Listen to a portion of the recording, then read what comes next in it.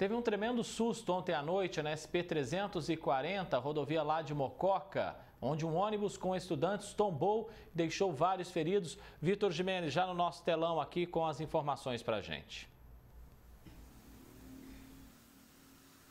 Andréia, boa tarde para você, boa tarde a todos. Você resumiu bem, viu, André? Um grande susto esses estudantes passaram na noite de ontem nessa rodovia SP-340, conhecida como rodovia José André de Lima, ali na cidade de Mococa. Esse ônibus transportava 37 estudantes até uma faculdade que fica na cidade de São João da Boa Vista. De acordo com a polícia, esse, esse, esse ônibus que estava no local, ele chegou a fazer esse transporte e ainda não se sabe o que pode ter causado. O motorista afirmou que perdeu o controle desse ônibus, atravessou o canteiro central e então ele capotou, viu André? Esse, esse acidente foi ali por volta de seis e meia da noite na cidade. Das 37 pessoas que estavam no veículo, seis sofreram ferimentos leves e uma apresentou um ferimento mais grave. Todas as vítimas foram encaminhadas até o pronto-socorro ali na cidade de Mococa. Ainda segundo a polícia, durante o atendimento às vítimas, não foi necessário fazer a interdição do trecho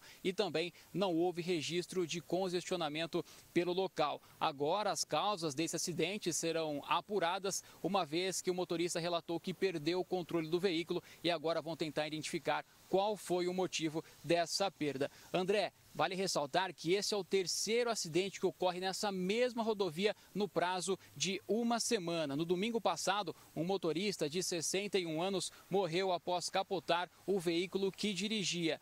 Já nesta terça-feira, desta semana mesmo, um idoso de 79 anos morreu atropelado por uma carreta ao tentar atravessar a rodovia.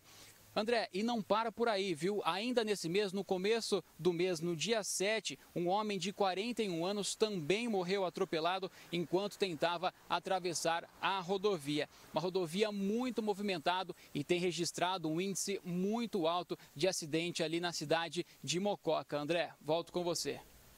Obrigado, Vitor Jimenez, pelas suas informações aqui no Jornal da Clube.